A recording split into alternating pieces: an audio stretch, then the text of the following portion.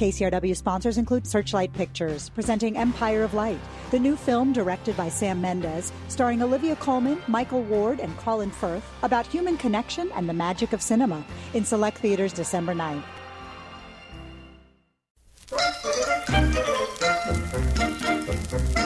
You are a human animal. You are a very special breed. For you are the only animal who can think, who can reason, who can read. Hi, this is Michael Silverblatt, and this is Bookworm.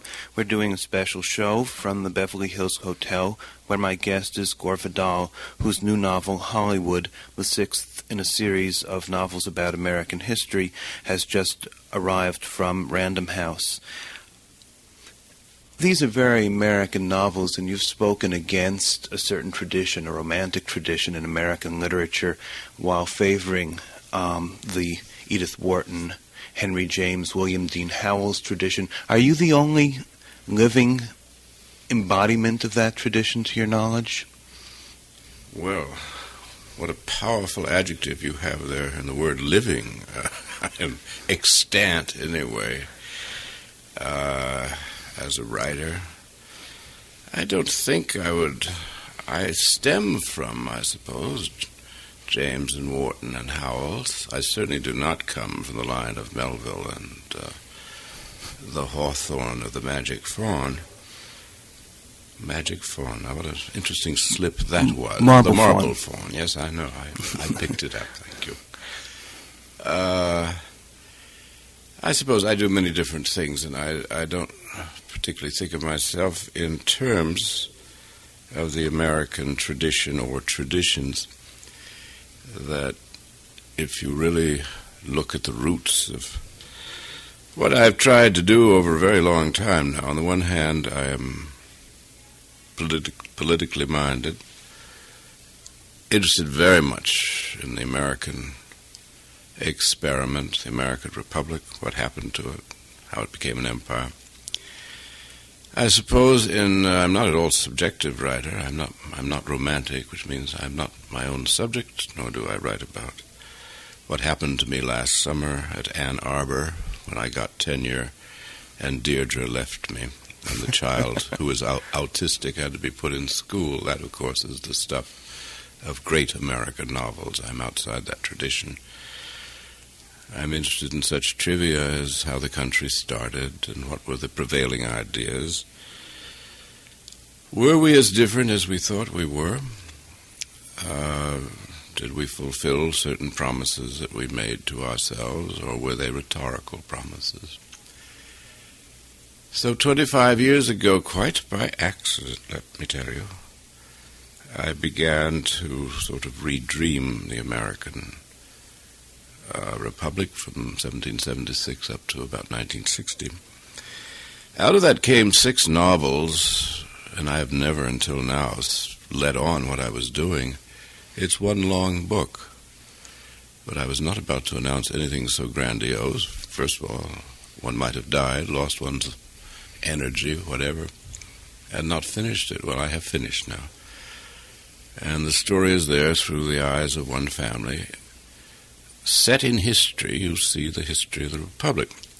This has caused great distress. What is it? People aren't used to this sort of work. And I don't think anybody else has ever tried it that I know of. To set a novel, an actual novel down, which is made up people, and put them not in what happened last summer at Ann Arbor, but put them in history. Now, we all live in history at all times, but history seldom intrudes in the ordinary novels of, the, of our literature because the novelists themselves either are not interested in it or they think, oh, that's just politics, or they have no connection. They don't get to meet anybody or think about anything other than their own affairs. These novels, at least the more recent ones, suggest that there was never a point before which the Republic had not been corrupted. There was no Edenic part, no Garden of Eden, no place of fulfilled ideals. Is that your view? Well, I think that would be one's view of any political system. Nothing starts in a state of innocence.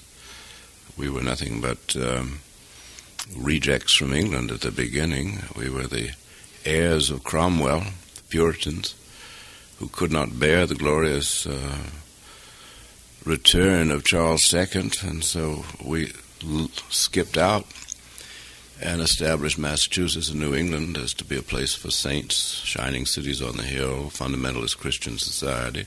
It's a very bad beginning, to be blunt about it. No, I, I find that uh, attempts are made, obviously, by individuals, usually doomed to make us better than we were, but certain myths were created about us at the very beginning. You see it from I suppose the first potent myth that, that, got the attention of the world was 1776 life, liberty, wrote Mr. Jefferson, and the pursuit of happiness. No one had ever thought to use that phrase before as an aim for a secular government, and heaven knows not for any religious establishment, since happiness, in Christian terms at least, is elsewhere, after life. No, we set ourselves up as an extraordinary experiment, and people were intrigued by this country that began as though it were in the Garden of Eden, as you put it, or Rousseau's Noble Savage was very much admired by the 18th century founders of the Republic. I find that we go through phases. I don't want to sound like the dread Arthur Schlesinger and his pendulum theory the way that we go to the liberal and we go to conservative back and forth. We don't quite do that. We respond to necessities, energy.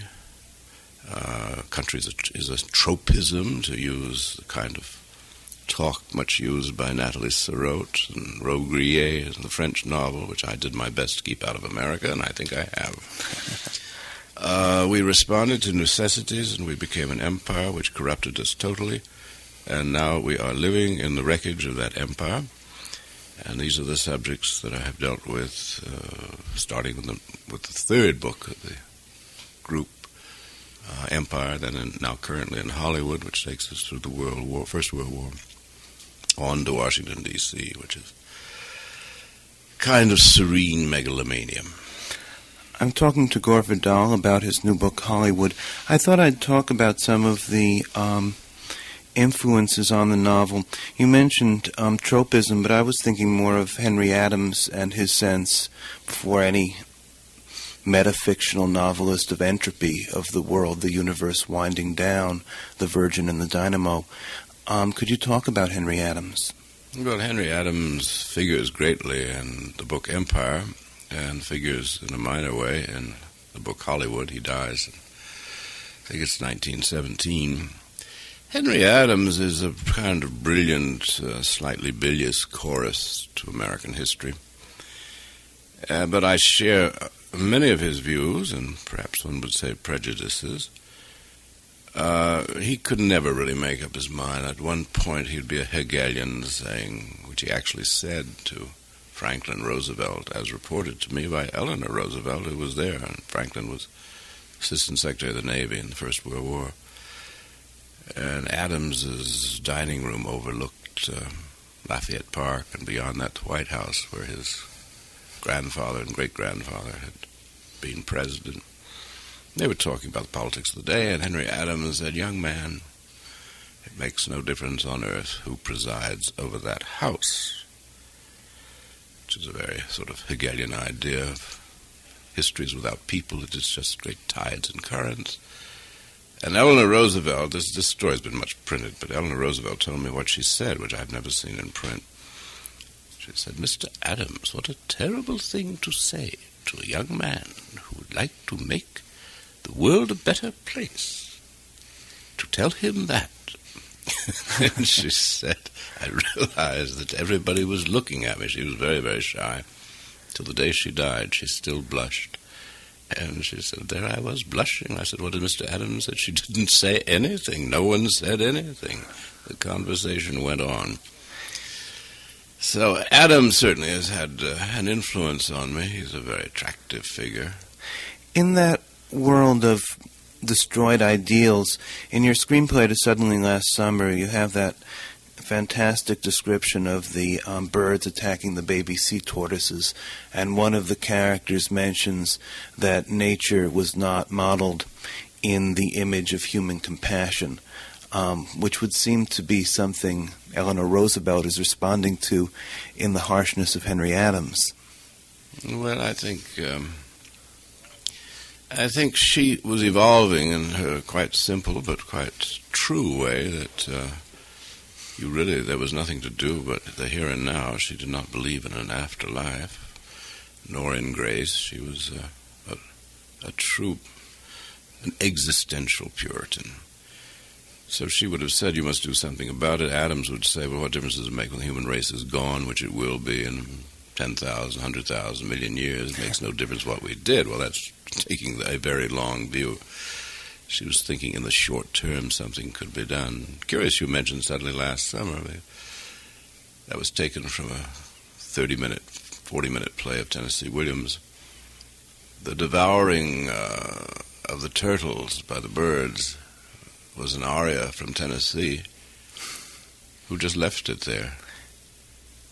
And I then took it a bit further and came in with the image of the devouring impersonal, unhuman, inhuman creation. That it is the nature of life to have more life at whatever expense.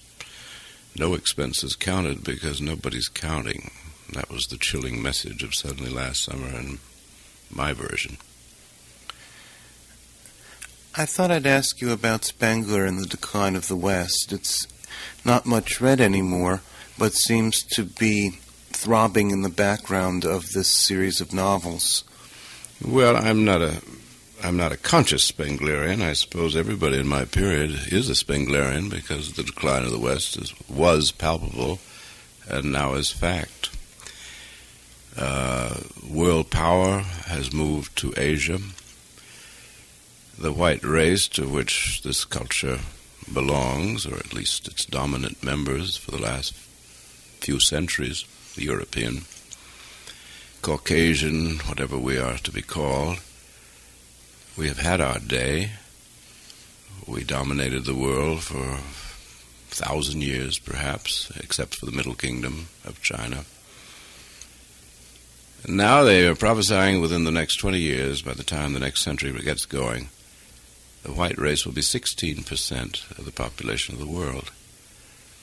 And let us hope that the other races will be nicer to us than we were to them when we maintained they were our burden. So when you speak of the decline of the West, you're really speaking of things that affect the United States and Europe.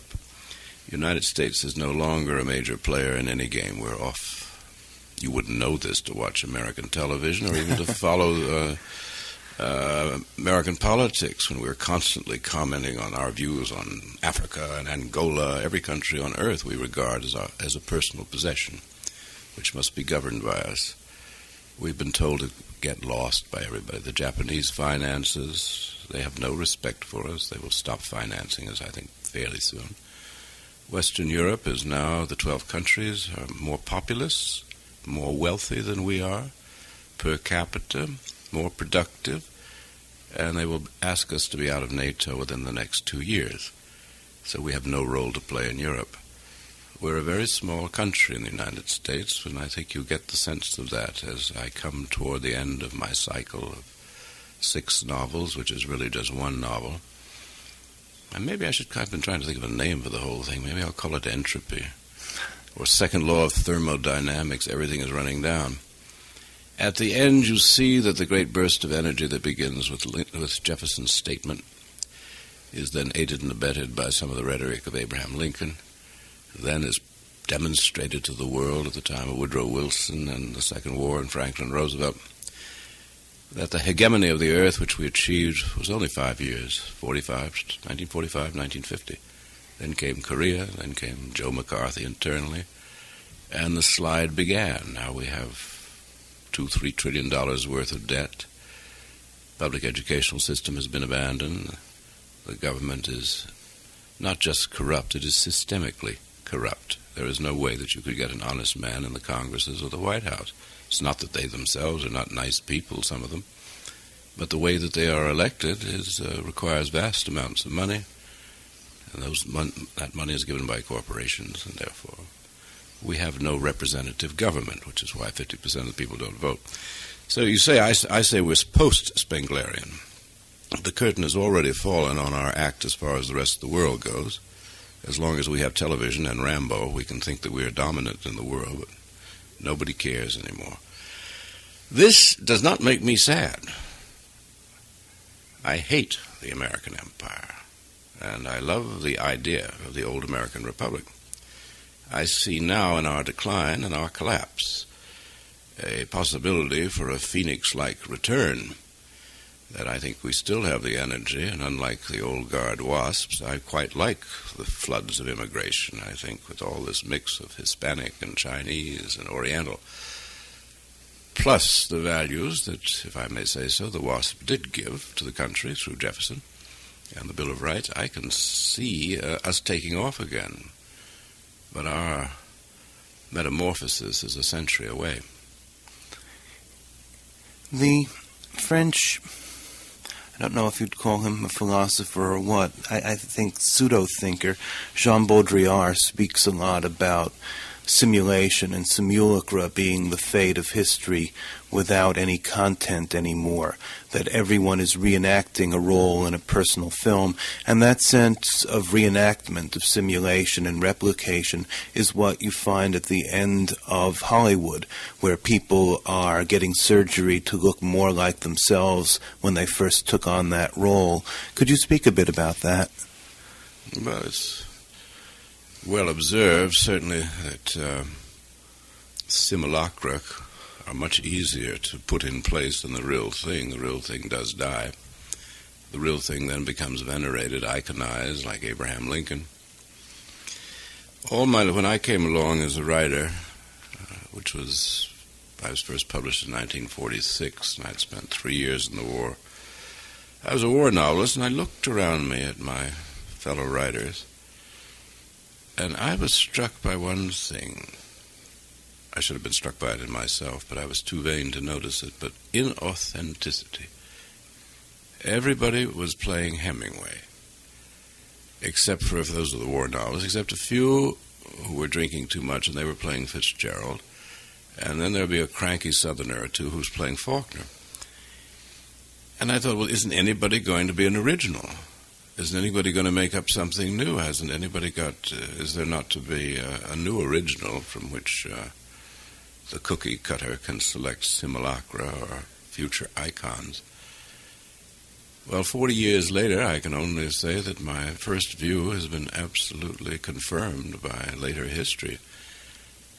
There has been no original figure in our literature except perhaps for Nabokov, who doesn't belong to us really. And that's startling well, forget literature. Literature is a subject of, as William Faulkner once said, is sort of like dog breeding. Those who care about it care about it intensely, and no one else is interested in dog breeding. Well, it's a very small thing, but you see it in politics. I saw my friend Jack Kennedy, whenever he made a speech, he was imitating Franklin Roosevelt, who was the great figure for people our age greatest political figure the country probably had ever produced, and the first one who was ubiquitous thanks to radio. You heard his voice every day of your life. Then Franklin Roosevelt was imitating Woodrow Wilson, who was a far better speaker, and very much the same kind of high tone rhetoric, except Wilson could write his. And uh, Wilson was a historian. Wilson, I forget where I picked up who he was imitating, but it was a long chain which went straight back to Gettysburg. They were all doing Lincoln. The world should little note, oh, long remember the false modesty and then the high minded, mindless rhetoric of people of government of the people, by the people, for the people. Something that we never had and never tried to have. You know, the, all you have to do is say, Mr. Lincoln, that's not true. I don't know what he would have said to that. Well, it ought to be true, I can hear Lincoln probably say. But so, in a sense, that is the nature of government the continuation of certain archetypes in order to make people feel secure. Times of crisis, you get new ones. In a certain way, since it was Parson Weems, the itinerant Bible seller, who makes up Washington in the life of a saint and first tells the story of the uh, cherry tree and a George Washington who cannot tell a lie, could it be said that um, first there is the tendency to turn the historical figures into saints, then to imitate the non existent saints, and then simply, as if it were word processed language, to simulate them, acting as if one has no content but merely a replicant form. I think you would probably work out a, a progression that keeps on repeating itself. It's interesting that Lincoln himself never read biographies, read very little history. The famous style, he was drenched in Shakespeare and, of course, in, um, in the law books, 18th century law and 17th century law. His style came from that, but one of the few biographies that he had ever read, which he really liked a lot, was Parson Weems' Life of George Washington. and you can just see right off that the first idol of the country was imitated by the second idol of the country, and that Lincoln, uh, who was whose antennae, I must say, were so attuned to the zeitgeist. I mean, he knew what history required. He was a Shakespearean figure, and, and the greatest. I mean, there's been nothing like him in our history. And I can't really think of anything like him in the political history that one knows of the world. That he did embody a country which hadn't even invented itself, and he invented its system as we now know it, and gave it a resonance that uh, no one else had before and no one else has since. Dwight Macdonald, the um, editor of politics and one of the early writers for the Partisan Review, used to feel that the Civil War was the first unnecessary war America had entered, a complete fabrication. Um, would would you quarrel with that? Yes, I, I always quarreled with Dwight in life, and I shall now quarrel with Dwight in death. An old friend. I don't know where he was coming from, as they say on that one. Yes, it was it was an avoidable war, and had I been in Lincoln's place, knowing just a little bit, not too much hindsight, just a little bit of what I know now, I would have inclined to the William Seward view that the Civil War should have been avoided. Let the South go. It's what we were started for. Do your own thing, pursuit of happiness. If their happiness is having slaves and exploiting them and beating them, well, the slaves are going to turn on them one day and kill them. I mean, there's a, there, there was something that was going to act itself out. I would have let them go. Uh, they couldn't have. They could not have survived, and um, economically, and certainly slavery was not going to last much longer. And Lincoln had no interest in slavery, particularly. Thought it was a bad thing, but that was about it. Civil War was about maintaining the Union. Now, if Dwight wants to say uh, the Union is not only not sacred but should not be maintained, then I'd agree with him. It was perfectly pointless exercise. I'd li- I like a confederation. I thought before the first Constitution. But then my ideal is Swiss. I want to see the United States like Switzerland with cantons and south uh, southern rim of the United States will be Spanish speaking. Will do its own thing. Northwest out here, from sort of San Francisco, Oregon, Seattle, should be a nice sort of socialist Swedish republic.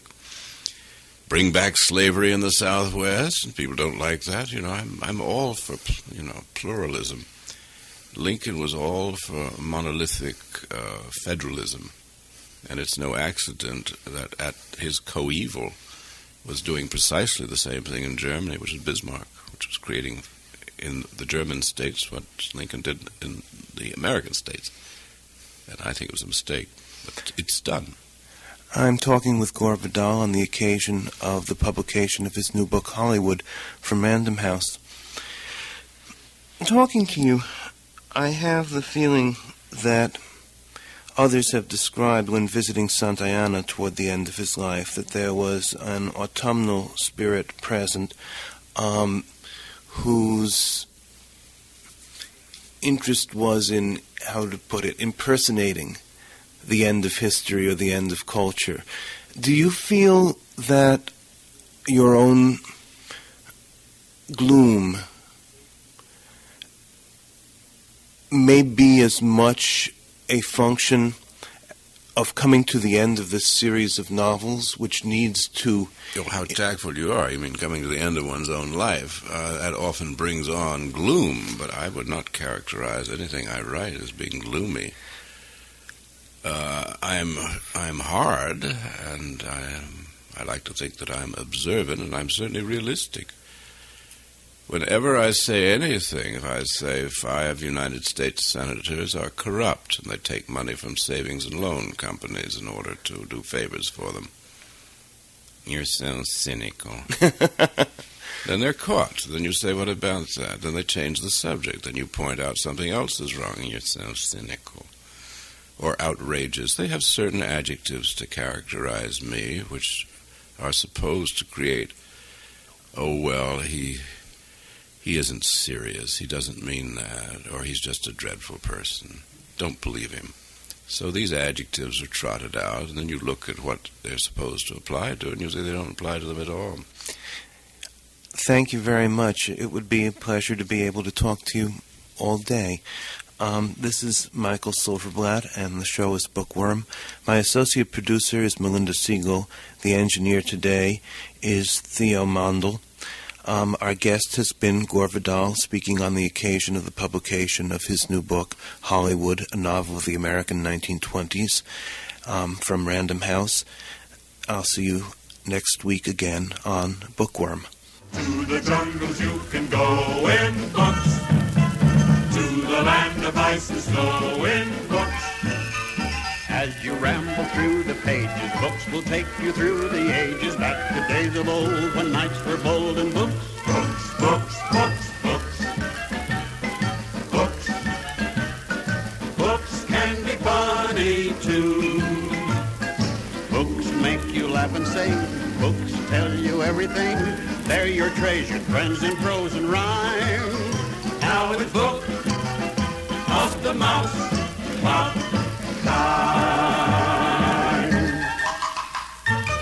KCRW sponsors include Searchlight Pictures, presenting Empire of Light, the new film directed by Sam Mendes, starring Olivia Colman, Michael Ward, and Colin Firth, about human connection and the magic of cinema. In select theaters,